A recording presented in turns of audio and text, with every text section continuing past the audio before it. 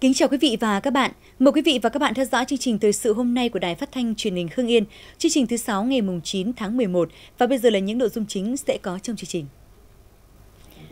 Đồng chí Đỗ Xuân Tuyên, Phó Bí thư Thường trực Tỉnh ủy, Chủ tịch Hội đồng nhân dân tỉnh dự ngày hội đại đoàn kết toàn dân tộc với khu dân cư thôn Giang, xã Nhân La, huyện Kim Động. Đồng chí Nguyễn Văn Phóng, Phó Bí thư tỉnh ủy, Chủ tịch Ủy ban nhân dân tỉnh dự sinh hoạt Đảng với chi bộ thôn 2 thuộc Đảng bộ xã Quảng Châu, thành phố Hưng Yên. Các đồng chí ủy viên Ban Thường vụ tỉnh ủy trao huy hiệu Đảng cho các đảng viên. Xã Đề Tập huyện Khói Châu, nhiều hộ giàu lên từ làm nghề mộc. Nhiều hộ dân ở xã Bảo Khê, thành phố Hưng Yên điêu đứng vì cho vay tiền với lãi suất cao. Tìm ra hung thủ giết người, buôn bò, cướp tài sản xảy ra trên địa bàn huyện Ân Thi. Bây giờ mời quý vị và các bạn theo dõi nội dung chi tiết. Thưa quý vị và các bạn, kỷ niệm 88 năm ngày thành lập Mặt trận Dân tộc Thống nhất Việt Nam 18 tháng 11 năm 1930, 18 tháng 11 năm 2018. Sáng nay, khu dân cư thôn Giang, xã Nhân La, huyện Kim Động tổ chức ngày hội đại đoàn kết toàn dân tộc. Sự ngày hội có đồng chí Đỗ Xuân Tuyên, Phó Bí thư Thường trực tỉnh ủy, Chủ tịch Hội đồng nhân dân tỉnh, đồng chí Đoàn Văn Hòa, Ủy viên Ban Thường vụ tỉnh ủy, trưởng ban dân vận tỉnh ủy. Những năm qua, khu dân cư thôn Sang đã nỗ lực phấn đấu và đạt nhiều kết quả nổi bật như thực hiện tốt cuộc vận động toàn dân đoàn kết xây dựng đời sống văn hóa ở khu dân cư, phong trào khu dân cư 30, đời sống vật chất và tinh thần của người dân được cải thiện. Bình quân thu nhập đạt trên 42 triệu đồng một người một năm, 93% gia đình đạt danh hiệu gia đình văn hóa, an ninh chính trị, trật tự an toàn xã hội được giữ vững. Phát biểu tại ngày hội, đồng chí Đỗ Xuân Tuyên đã ghi nhận và đánh giá cao kết quả khu dân cư đạt được. Đồng chí yêu cầu trong thời gian tới, địa phương tăng cường lãnh đạo chỉ đạo mặt trận Tổ quốc và các tổ chức chính trị xã hội, đổi mới nội dung và phương thức hoạt động gắn hoạt động với quyền làm chủ của nhân dân, xây dựng và thực hiện chế độ dân chủ, Mặt trận Tổ quốc các cấp chủ động phối hợp chặt chẽ với các tổ chức thành viên trong việc phát huy khối đại đoàn kết toàn dân, thực hiện tốt quy chế dân chủ ở cơ sở, phát huy vai trò giám sát và phản biện xã hội của mặt trận Tổ quốc và các tổ chức chính trị xã hội, tích cực vận động nhân dân khu dân cư tham gia xây dựng nông thôn mới, đồng thời vận động nhân dân tích tụ tập trung đất đai, sản xuất nông nghiệp quy mô lớn,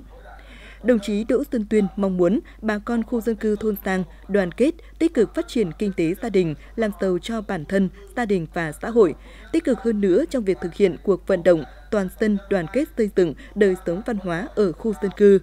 Tại ngày hội, đồng chí Phó Bí thư Thường trực tỉnh ủy đã trao bằng xếp hạng di tích lịch sử văn hóa cấp tỉnh cho đình Làng Tang, trao danh hiệu ông bà cha mẹ mẫu mực, con trung hiếu cháu Thảo Hiền, gia đình văn hóa cho các gia đình tiêu biểu. Dự ngày hội đại đoàn kết toàn dân tộc với khu dân cư thôn Yên Tập, xã Nhân Hòa, huyện Mỹ Hào có các đồng chí ủy viên ban thường vụ tỉnh ủy, đồng chí Phạm Thị Tuyến, Chủ tịch Ủy ban Mặt trận Tổ quốc Việt Nam tỉnh, đồng chí Trần Quốc Đoàn, chủ nhiệm Ủy ban Kiểm tra tỉnh ủy, trong năm qua, khu dân cư thôn Yên Tập đã đạt được nhiều thành tựu nổi bật như 100% số người trong độ tuổi lao động có việc làm ổn định, mức sống của người dân được nâng cao rõ rệt, thu nhập bình quân đầu người năm nay đạt 48 triệu đồng một người một năm. Phát biểu tại ngày hội, đồng chí Phạm Thị Tuyến đã chúc mừng những thành tựu mà nhân dân trong thôn đã đạt được trong thời gian qua. Nhiệm vụ thời gian tới, đồng chí yêu cầu cấp ủy chính quyền thôn cần quan tâm hơn nữa đến các phong trào mà mặt trận Tổ quốc các cấp phát động, trọng tâm là phong trào toàn dân đoàn kết xây dựng nông thôn mới và đô thị văn minh, giúp nhau phát triển kinh tế và công tác đền ơn đáp nghĩa, nhân đạo từ thiện. Thưa quý vị và các bạn, Chiều ngày 8 tháng 11, đồng chí Nguyễn Văn Phóng, Phó Bí thư tỉnh ủy, Chủ tịch Ủy ban nhân dân tỉnh đã về dự sinh hoạt Đảng với chi bộ thôn 2 thuộc Đảng bộ xã Quảng Châu, thành phố Hưng Yên. Cùng dự có đồng chí Tạ Hồng Quảng, Ủy viên Ban Thường vụ tỉnh ủy, Bí thư Thành ủy Hưng Yên. Chi bộ thôn 2 có 53 đảng viên sinh hoạt ở 3 tổ đảng. Tại buổi sinh hoạt thường kỳ tháng 11, các đảng viên đánh giá kết quả thực hiện nghị quyết tháng 10 và thảo luận thông qua nghị quyết tháng 11 với nội dung tập trung cho sản xuất nông nghiệp phòng chống dịch bệnh trong thời tiết giao mùa, tuyên truyền gặp gỡ các thanh niên trong diện khám tuyển nghĩa vụ quân sự năm 2019. Phát biểu tại buổi sinh hoạt tri bộ, Chủ tịch Ủy ban nhân dân tỉnh mong muốn cấp ủy và nhân dân địa phương tiếp tục phát huy tinh thần đoàn kết, bám sát các văn bản chỉ đạo của trung ương và địa phương nhằm thực hiện thắng lợi nghị quyết Đại hội Đảng các cấp, chú trọng công tác xây dựng Đảng, quan tâm bồi dưỡng đội ngũ đảng viên trẻ, chuẩn bị tốt công tác tuyển quân năm 2019, đẩy mạnh sản xuất nông nghiệp, đa dạng hóa các loại cây trồng, tập trung vào cây cam và nhãn. Đồng chí yêu cầu thời gian tới, chi bộ thôn tập trung lãnh đạo xây dựng hệ thống chính trị trong sạch vững mạnh, tăng cường sự lãnh đạo của Đảng, quan tâm chăm lo đào tạo đội ngũ cán bộ trẻ có năng lực, tập trung lãnh đạo thực hiện tốt việc xây dựng đời sống văn hóa, ngăn ngừa các tai tệ nạn xã hội ở địa phương. Tiếp theo là tin các đồng chí Ủy viên Ban Thường vụ tỉnh ủy về trao huy hiệu Đảng đợt mùng 7 tháng 11 cho các đảng viên ở một số địa phương.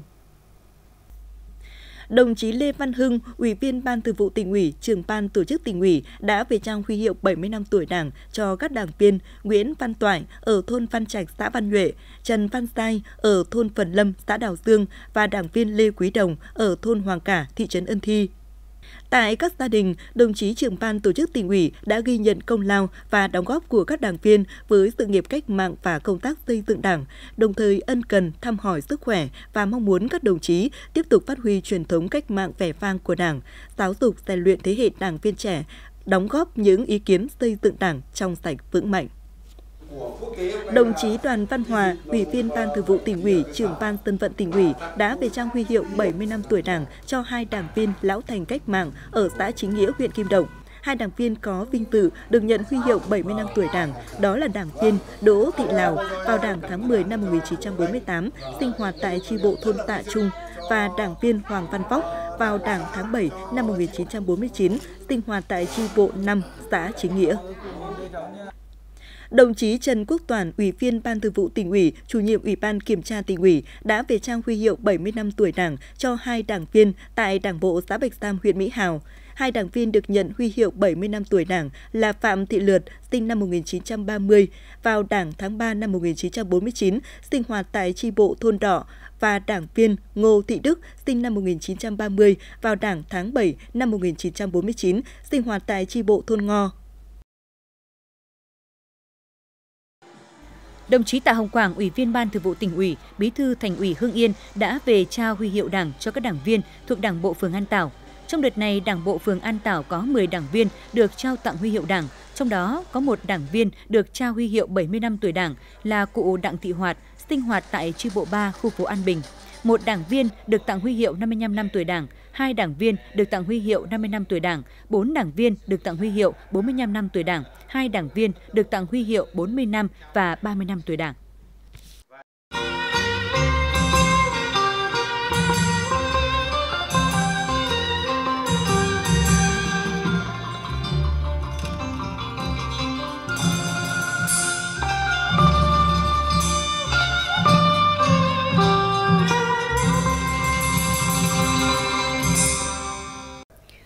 Quý vị và các bạn, ngày 9 tháng 11, Quốc hội làm việc tại hội trường để nghe một số tờ trình, báo cáo, thẩm tra và thảo luận về một số dự án luật. Bộ trưởng Bộ Y tế Nguyễn Thị Kim Tiến thừa ủy quyền của Thủ tướng Chính phủ trình bày tờ trình về dự án luật phòng chống tác hại của rượu bia. Một trong những nội dung đáng chú ý của dự thảo luật là vấn đề quản lý rượu thủ công. Theo đó, dự kiến đến ngày 1 tháng 1 năm 2023, rượu thủ công sẽ được quản lý như rượu công nghiệp, định hướng giảm dần sản xuất kinh doanh loại rượu này. Điều 16 dự thảo luật quy định các biện pháp quản lý toàn diện đối với sản xuất rượu thủ công, theo hướng giao trách nhiệm cho Ủy ban Nhân dân cấp tỉnh phải tổ chức giả soát thống kê số lượng hộ gia đình, tổ chức cá nhân sản xuất rượu thủ công, sản lượng sản xuất, kiểm tra chất lượng rượu thủ công trong toàn tỉnh, gửi Bộ Công Thương tổng hợp và báo cáo chính phủ trước ngày 1 tháng 1 năm 2023. Vận động người dân tuân thủ quy định về sản xuất kinh doanh rượu, không bán rượu không có giấy phép sản xuất ra thị trường. Cho ý kiến về một số nội dung của dự án luật trồng trọt, nhiều đại biểu Quốc hội đề nghị làm rõ hơn phạm vi điều chỉnh của luật, bổ sung quy định về quản lý chất lượng giống theo tiêu chuẩn, quy chuẩn kỹ thuật, đổi mới phương thức quản lý theo hướng đơn giản hóa thủ tục, nhưng bảo đảm chặt chẽ, có phân biệt quy định quản lý đối với các giống cây trồng chính với các loại cây trồng khác và điều kiện sản xuất phân bón, đại biểu đề nghị bổ sung thêm nội dung về điều kiện cấp giấy phép là các tổ chức cá nhân sản xuất phân bón phải có kế hoạch bảo vệ môi trường và được cơ quan có thẩm quyền xác nhận. Đại biểu cũng cho rằng luật trồng trọt phải khắc phục được tình trạng rau hay luống, lợn hay chuồng nhằm đảm bảo vệ sinh an toàn thực phẩm, bảo vệ sức khỏe và chất lượng giống nòi. Trong nghị trình làm việc hôm nay, Quốc hội cũng biểu quyết thông qua nghị quyết về dự toán ngân sách nhà nước năm 2019 và thảo luận ở hội trường về dự án luật sửa đổi bổ sung các luật có quy định liên quan đến quy hoạch. Quý vị và các bạn đang theo dõi chương trình thời sự của Đài Phát thanh Truyền hình Hưng Yên. Thưa quý vị và các bạn, vừa qua đồng chí Nguyễn Minh Quang, Phó Chủ tịch Ủy ban nhân dân tỉnh đã đi kiểm tra tình hình sản xuất nông nghiệp tại huyện Kim Động. Phó Chủ tịch Ủy ban nhân dân tỉnh đã tới thăm và kiểm tra tình hình sản xuất tại trang trại chăn nuôi thủy sản của ông Ngô Đình Chiến và anh Ngô Văn Thắng ở thôn Cốc Khê, xã Phạm Ngũ Lão. Trang trại của ông Chiến rộng trên 2 hecta, trong đó có 0,5 hecta được ông quy hoạch ao nuôi tôm thẻ chân trắng kết hợp thả cá rô phi, chấm chép. Còn lại là nuôi cá giống, cá thịt cho hiệu quả kinh tế cao. Tổng doanh thu đạt trên 2 tỷ đồng một năm. Anh Thắng vừa được vinh danh là một trong 63 nông dân Việt Nam xuất sắc năm 2018. Trang trại của anh Thắng có diện tích rộng trên 6 hecta, được quy hoạch trồng cây ăn quả, kết hợp với đào ao thả cá và nuôi gần 10.000 con vịt đẻ. Ngoài ra, anh còn đầu tư 20 máy ấp trứng, cung ứng vịt giống ra thị trường. Trung bình mỗi năm, trừ chi phí, trang trại cho thu lãi hàng tỷ đồng. Ngoài ra, anh còn giúp đỡ hàng chục hộ nông dân trên địa bàn vươn lên thoát nghèo, tạo công an việc làm cho 25 lao động tại địa phương. Qua thăm và kiểm tra các mô hình kinh tế, Phó Chủ tịch Ủy ban nhân dân tỉnh biểu dương nỗ lực, cố gắng vươn lên, dám nghĩ, dám làm của chủ hai trang trại, không chỉ làm giàu cho gia đình mà còn giúp nhiều nông dân khác cùng làm giàu và tạo nhiều việc làm cho lao động ở địa phương. Đồng chí yêu cầu thời gian tới, huyện Kim Động cần có những biện pháp hiệu quả hơn nữa trong việc thực hiện quyết định số 438 của Ủy ban nhân dân tỉnh về phê duyệt kế hoạch khung chuyển đổi từ trồng lúa kém hiệu quả sang trồng cây hàng năm, kết hợp chăn nuôi và nuôi trồng thủy sản trên đất trồng lúa đến năm 2020 tạo chỉ tiêu chuyển đổi cho các xã thị trấn, bảo đảm chuyển đổi phù hợp với quy hoạch của tỉnh, của huyện với nhu cầu thị trường và điều kiện của địa phương gắn chuyển đổi cơ cấu cây trồng với tập trung tích tụ ruộng đất, khuyến khích phát triển thành lập các hợp tác xã kiểu mới, sản xuất các sản phẩm nông nghiệp đảm bảo theo tiêu chuẩn an toàn, chất lượng, chú trọng khâu bảo quản và chế biến, tiêu thụ để mang lại hiệu quả kinh tế cho nông dân. Từ một hộ kinh tế còn khó khăn, gia đình anh Nguyễn Văn Quyến, thôn 6 xã Đức Hợp, huyện Kim Động, vươn lên làm giàu từ cây cam, ước tính mỗi vụ cam cho thu nhập khoảng 300 triệu đồng. Năm 2011, gia đình anh Quyến đầu tư phát triển mô hình trồng cam với diện tích 3 mẫu. Hiện nay có hơn 1.000 cây đang cho thu hoạch. Nhờ chịu khó học hỏi áp dụng khoa học kỹ thuật và sản xuất, nên anh Quyến phòng trừ được các loại sâu bệnh gây hại như bệnh thán thư, sâu đục gốc, nhện và côn trùng chích hút. Vườn cam luôn cho năng suất cao, mẫu mã quả to, đẹp, mọng nước và ngọt thơm. Thời điểm này, gia đình anh bắt đầu bước vào vụ thu hoạch cam. Thương lái tìm đến tận vườn thu mua với giá bán từ 15 đến 20 000 đồng một kg.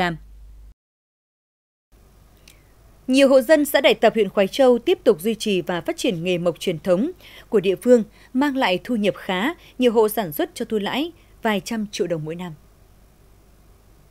Hiện toàn xã có 750 hộ làm nghề, thu hút trên 1.230 lao động tại địa phương với mức thu nhập bình quân từ 5 đến 7,5 triệu đồng một người một tháng. Trong đó có nhiều cơ sở sản xuất lớn như gia đình anh Lê Văn Hà, Phạm Xuân Tươi, Lê Ngọc Khánh, mỗi năm thu lãi hàng trăm triệu đồng. Các sản phẩm được sản xuất chủ yếu là giường, tủ, bàn ghế và đồ thờ. Thợ mộc xã Đại Tập nổi tiếng vì tay nghề giỏi, đặc biệt là đục, chạm gỗ tinh xảo. Do đó, sản phẩm của làng nghề luôn có mẫu mã đẹp, chất lượng tốt, thu hút được nhiều khách hàng trong và ngoài tỉnh đặt mua. Mặc dù đã có nhiều cảnh báo về hệ lụy từ tín dụng đen, song vì cả tin, vì lãi suất cao mà nhiều bà con nhân dân trong và ngoài địa bàn xã Bảo Khê, thành phố Hưng Yên đang rơi vào tình trạng giờ khóc, giờ cười khi chủ nợ tuyên bố không có khả năng chi trả. Từ hơn một tháng trở lại đây, gia đình chị Trần Thị Hiền cũng như hàng trăm hộ gia đình khác như nằm trên đống lửa khi mà toàn bộ số tiền tích cóp được trên 500 triệu đồng đưa cho gia đình vợ chồng Lê Văn Việt và Đỗ Thị Hiền thuộc địa bàn Dốc Lã, xã Bảo Khê, thành phố Hưng Yên, trời bốc bắt họ. À, hàng tháng chẳng hạn đến đóng 10 triệu thì chị sẽ cắt ra giả khoảng 300 hay 400, 500 để giả mọi người rồi. Thế nhưng mà hầu như là ra thì là bạn thuê người bỏ họ hộ. Có trường hợp ở làng này là có người thuê bỏ họ hộ. Chẳng hạn như là có một người chẳng hạn ra ngày nào ra thì cũng gặp cái người đấy hỏi ơ thế em có họ à? Thì bảo là Vâng, em họ bảo sao em họ nhiều thế? Mà trong đó người ta là lông dân chứ không phải là buôn bán gì Mà lại suốt ngày đi bỏ họ. Và thuê bỏ họ là có Có nghĩa là thành lập họ ảo Ví dụ như là bắt họ 13 người nhưng thậm chí chỉ có người như em chơi là một người, hai người, ba người thôi. Còn đâu là 10 người của bạn đấy. Mặc dù mới quen biết nhưng vì cả tin Và vì lần đầu chơi được trả sòng phẳng, mà chị Mai Thị Thu, người cùng xã đã tin tưởng và huy động số tiền lên tới trên 2 tỷ đồng của gia đình và người thân để đưa cho vợ chồng Việt Hiền để được trả lãi cao. Chúng em ờ, tham gia bắt họ được thì là chị bảo là chị bảo là em về, em không sử dụng gì đến đồng tiền này thì em lấy cái số tiền này để cho chị vay. Thì em cũng tin tưởng chị làm ăn từ trước đến giờ, em cũng tin tưởng chị tuyệt đối. Thì là cả vợ cả chồng chị gọi điện ờ, em lên để nói chuyện thì anh chị bảo là em cứ làm ăn với anh chị thì em cứ yên tâm thì em cũng chỉ tin tưởng anh chị thì là em cho anh chị vay. Thế lúc ừ, chị muốn vay nữa thì em bảo em không có tiền. Thì chị bảo là về xoay của hàng xóm hay là gia đình. Thì là em lại về có ông cậu thì em bảo là cho cháu lấy để cháu lên cháu lên cho vay một phẩy. Thì là về lên đến bây giờ 2 tỷ không trăm hai tỷ 080 triệu. Thì chị hẹn là em là 25 hàng tháng chị lên chị giả 20 triệu một tháng. Nhưng đến giờ chị không hẹn giả em một đồng nào cả. Gia đình ông Phạm Văn Ngạn, thôn Tiền Thắng, ông Nguyễn Văn Bình, thôn Đoàn Thượng, chị Hoàng Thị Thư, xã Hiệp Cường và hàng trăm gia đình khác cũng đang rơi vào tình cảnh khốn cùng khi tin tưởng đưa số tiền lớn cho vợ chồng Việt Hiền. Gia đình nhà tôi có tham gia ở nhà anh Việt Hiền này là ba bát họ. Mỗi bát là đều đóng 10 triệu. Một bát đóng được 10 tháng, còn hai bát kia đều đóng được 6 tháng. Nhưng đến lúc coi như là công bố vỡ nợ thì chúng tôi có ra đòi tiền. Thì à, chị Hiền ấy, vợ anh Việt đấy thì bảo thôi ông cứ đi về. Ờ, năm ngày sau ông ra cháu giả. Thế khi năm ngày sau chúng tôi ra thì chị Hiền lại khất. Ba ngày sau ông ra, ba ngày sau chúng tôi ra thì chị Hiền chị có gọi điện cho tôi cho con dâu tôi là mang sổ ra để thanh toán tiền họ thế lúc ra thì chị lại cầm cái sổ của tôi chị xé tuyệt ngay đi Điều đáng nói là hầu hết các nạn nhân đều là những người nông dân, công nhân lao động, dành dụm số tiền vất vả kiếm được để đưa cho vợ chồng Việt Hiền vay để được trả lãi. Sự việc chỉ được vỡ lở khi chủ nợ công bố vỡ nợ không trả được. Sự việc không chỉ gây mất an ninh trật tự tại địa phương mà còn làm cho nhiều gia đình rơi vào tình cảnh bất hòa, thậm chí mất hết tài sản do cầm cố nhà cửa, sổ đỏ cho ngân hàng để lấy tiền đưa cho vợ chồng Việt Hiền vay. Theo thống kê ban đầu, hiện số tiền mà các hộ đưa cho nhà Việt Hiền lên tới 30 tỷ đồng. Ngoài ra còn nhiều nạn nhân khác vì nhiều lý do mà chưa lên tiếng. Thực sự là dân người ta có đơn thư thì đơn thư gửi xuống coi như là phía thành phố công an thành phố. Khi xã là chúng tôi không nhận được một đơn nào của coi như là công dân. Gửi đến xã là về cái vụ việc coi như là à, họ này thế còn đặc biệt là nó cũng xôn xao trong cái thời gian trong vòng một tháng hơn một tháng thì cái động thái của xã thì khi có được nhận được những vấn đề coi như là tụ tập đông người thì cũng có công an là cử các đồng chí công an viên lên cùng với coi như là à, dân ở đấy để giải giải toán cái đám đông đó tránh cái tình trạng coi như là để à, tụ tập đông người mây dây gây mất trật tự và an ninh của, của, của, của thôn đó và của xã. Theo người dân, hiện vợ chồng chủ nợ là Việt Hiền vẫn sinh sống bình thường ở địa phương. Chỉ trong hai năm 2017-2018, xã Bảo Khê đã xảy ra hai vụ tín dụng đen mà chủ nợ đều là người của địa phương. Vào khoảng 19 giờ ngày 5 tháng 11, Phòng Cảnh sát Hình sự Công an tỉnh nhận được tin báo của Công an huyện Ân Thi về việc phát hiện có một tử thi nam giới tại mép nước gần bờ sông chảy qua thôn Phù Ủng, xã Phù Ủng, huyện Ân Thi. Cách tử thi hơn 1 mét có một xe mô tô nhãn hiệu Dream mang biển kiểm soát 89K1 10452. Ngay sau khi nhận được tin báo, Phòng Cảnh sát Hình sự phối hợp với các đơn vị nghiệp vụ tiến hành khám nghiệm hiện trường, khám nghiệm tử thi,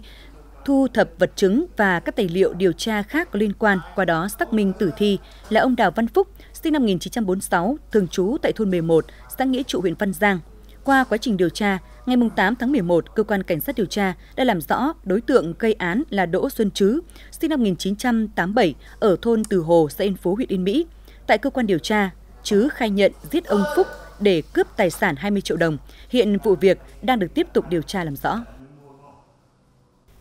Sáng nay, tại nhà thi đấu thể thao tỉnh, Đài Phát thanh Truyền hình Hưng Yên phối hợp với Sở Văn hóa Thể thao và Du lịch tổ chức khai mạc giải bóng bàn cán bộ lãnh đạo và quản lý tỉnh Hưng Yên năm 2018 tranh cúp Vietcombank. Đây là giải bóng bàn được tổ chức thường niên nhằm nâng cao chất lượng phong trào rèn luyện thân thể theo gương bác Hồ vĩ đại, đồng thời khích lệ và đẩy mạnh phong trào tập luyện bóng bàn trong cán bộ lãnh đạo và quản lý các cấp, góp phần nâng cao sức khỏe để phục vụ công tác lao động học tập. Giải đấu còn là dịp để các vận động viên có cơ hội được thi đấu giao lưu, cọ sát, qua đó nâng cao trình độ. Giải thu hút 23 đơn vị với 86 vận động viên đến từ các sở ban ngành, các huyện, thành phố trong tỉnh. Các vận động viên được chia làm hai đối tượng. Đối tượng A là các đồng chí lãnh đạo và nguyên lãnh đạo tỉnh, trưởng phó các sở ban ngành trong tỉnh, lãnh đạo các huyện, thành phố. Đối tượng B là cán bộ quản lý cấp phòng ở các sở ban ngành và các huyện, thành phố. Với hai nội dung thi đấu là đơn nam và đôi nam theo thể thức đấu vòng tròn tính điểm. Giải sẽ diễn ra trong hai ngày, mùng 9 và mùng 10 tháng 11. Quý vị và các bạn thân mến, trong chương trình thời sự ngày mai của Đài Phát thanh Truyền hình Hưng Yên, ngoài các tin tức thời sự diễn ra trong ngày trên địa bàn tỉnh, chương trình sẽ có những nội dung đáng chú ý sau. Cô giáo Lưu Thị Phượng, trường tiểu học Hùng An, huyện Kim Động có nhiều sáng kiến trong giảng dạy. Thôn Tân Hưng, xã Trí Tân, huyện Quái Châu có 4 cụ sống thọ gần 100 tuổi nhưng vẫn khỏe mạnh minh mẫn. Nhiều địa phương có số thu cao trong tháng cao điểm ủng hộ quỹ vì người nghèo. Kính mời quý vị và các bạn cùng chú ý theo dõi.